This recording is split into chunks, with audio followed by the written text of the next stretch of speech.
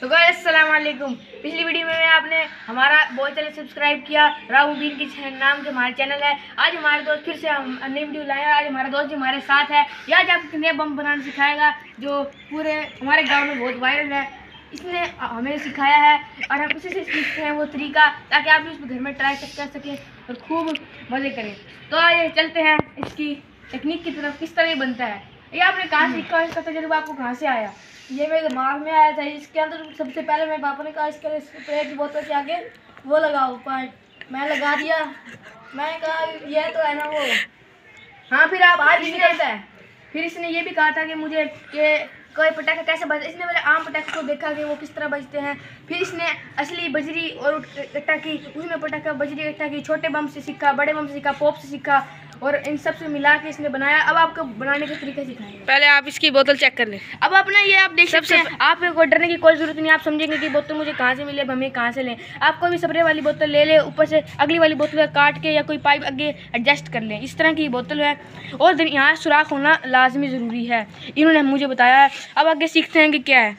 अब तो आप बताएँ अब हम ये हम कैसे बजा सकते हैं? इसके अंदर पहले पानी डालना थोड़ा सा।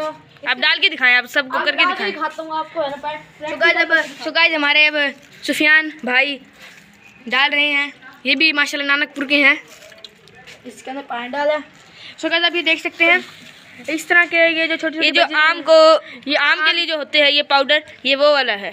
जो आम को गर्म रखता है पकाता है वही पाउडर अभी डाल रहे हैं देखिए बस ये थोड़ा सा डालना है। ये थोड़ा सा डालेंगे हम।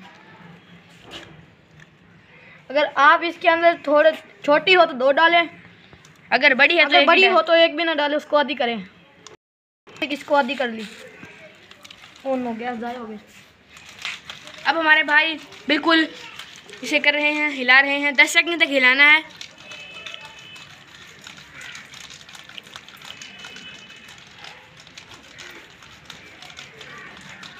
अब इसके बाद इसके अंदर लेटर लगाना है इस सुराख में।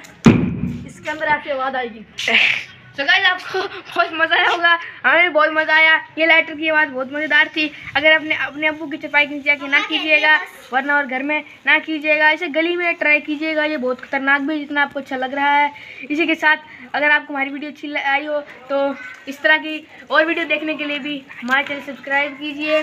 लिंक डिस्क्रिप्शन में और कभी और वीडियो का भी दिया हुआ है। लाइक कीजिए फॉलो कीजिए और सलामत रहिए। अल्लाह और बेल आइकन को दोबारा मत भूल